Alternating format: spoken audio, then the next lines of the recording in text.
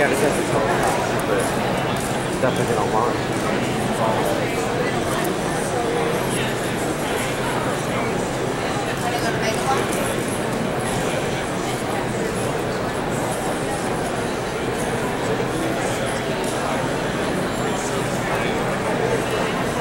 glasses.